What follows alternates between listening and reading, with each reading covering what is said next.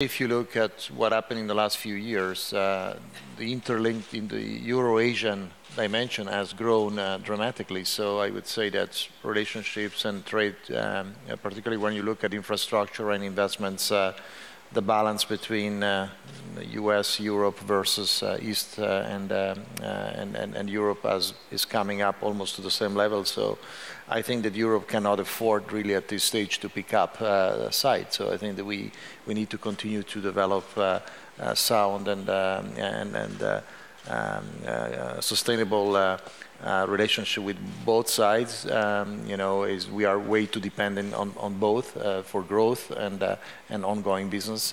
So, um, I don't think it has to do with ideology. Has to do also with business.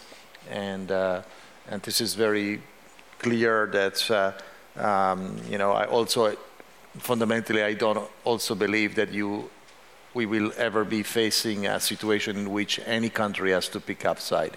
Um, you know, uh, China and the U.S. have no interest to create such a dramatic uh, um, um, uh, break of relationship. It's gonna be extremely damaging for both, and therefore it's more tactical than strategic.